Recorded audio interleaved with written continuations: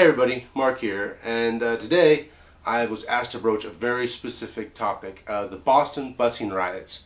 Uh, Ankai from Manic Expression, I'm pronouncing your name right, uh, asked me to take on that subject of the mid-70s Boston busing riots. And here's the thing, I don't know much about them. In fact, I know almost nothing about them other than they took place.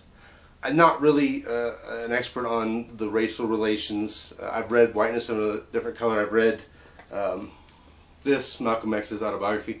Excellent book. Uh, I recommend anybody who is interested in Malcolm X read this. And naturally, it's told from his bias, but it is a great book.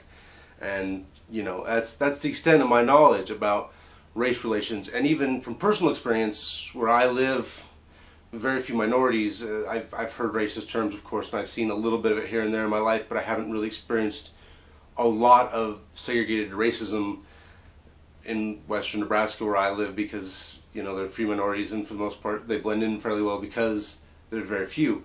So there's not really an issue there. And so I don't, I lack personal experience and I lack academic knowledge on this subject. So I did what an academic does, research. And this is my Kindle, clearly my Kindle and I read a book. I read Ronald P. Formisano, for, well, I'm probably pronouncing his name wrong, I apologize. Ronald P. Formis, F-O-R-M-I-S-A-N-O, Formisano, I'm not sure. He wrote a book called Boston Against Busing, Race, Class, Intensity in the 1960s and 70s. And so he, yeah, he literally wrote the book on it, right? So I read the book, and this was my research. I, I went online and looked at some other things. There was a little PBS uh, section on the Boston busing riots. And okay, so here's my perspective on it from what I can tell, given my limited knowledge base, given what background I have, and given what I just read.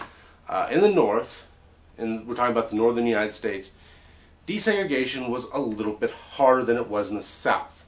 Now in the South there was resistance, and you get the famous, you know, Alabama riots and all that sort of the, the you know, the bus um, boycotts and Martin Luther King Jr. But here's the thing, all those things were codified, right? They were law. It said if you were black, you went to this school. If you were white, you went to this school. You know, even if you know you lived here and you were very close to this white school, you still have to go to this black school. So you know, colleges, everything, they were all strictly white and black, and so it was easy just to go, okay, those laws are gone now. You, the University of Alabama cannot keep out black students. You know, Little Rock High School cannot keep out black students. You have to let them go to your school and it was resisted and there was a lot of issues and of course the very famous civil rights episode and you know you can look more into history that I have read a little that history. But it was a little more cut and dry believe it or not. Then in the north though the segregation that took place took place more out of sort of racial lines being drawn and you know and and some shady real estate practices and things. So you know blacks lived here whites lived here and that was it. You know the African American community was separated by sort of a natural barrier between the two sides. So when the North went to desegregate, it was very murky. And Formisano points out in the Boston instance, there was another big problem. The, the desegregation uh, took place a lot in what was known as Southie and Charlestown, which were the poor parts of Boston.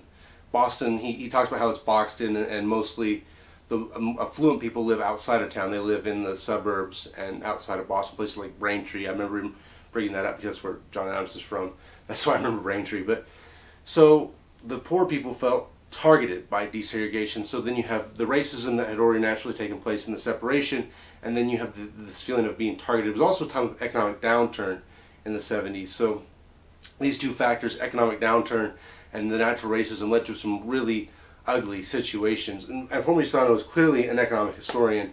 He spends a lot of time emphasizing the economic side of it, and he really emphasizes what took place on the white side of it. He, he talks about Mel King a little bit, who's one of the black leaders in Boston who pushes for um, the, the desegregation, who was working for it. But he spends a lot more time on the uh, men like Kerrigan who are against the, the busing. And, and he points out how big a failure, honestly, the busing is. It's it's sort of ridiculous. What you end up with is a lot of more white flight, like it had been slowly happening. The, the whites had been leaving the inner city, and it was just accelerated by the busing.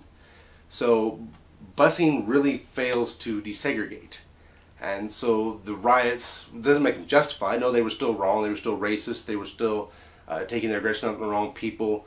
And and Judge Garrity, the the person who uh, Judge Garrity is the person who, who orders the desegregation. He's sort of left in charge of all this, all the busing, and he he fumbles a few times. He he makes some mistakes, and he doesn't hammer down on those who he could have stopped, maybe a little bit, who were on that anti-busing side. And so, what's the perspective on all of this? What what perspective can I give you? And the truth is, very little having little experience with it other than reading a very good book. I can recommend you read this book. It's not terribly long. It's pretty interesting, and if you are interested in Boston, the Boston, Boston busing riots, this is a good book to read.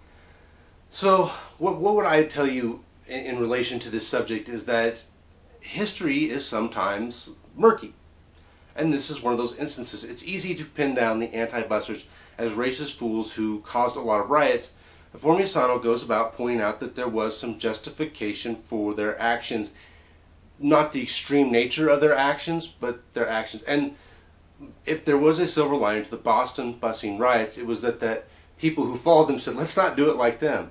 Uh, afterwards, Buffalo and uh, Denver and Columbus, Ohio all do busing and desegregation and do it a lot smoother because they, they don't make the same mistakes that Boston made.